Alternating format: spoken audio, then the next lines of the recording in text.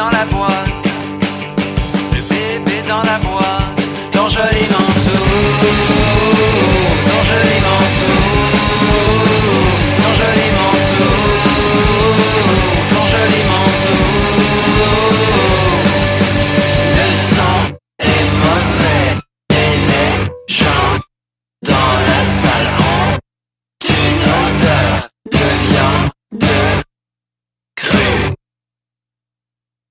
La porte de ta chambre,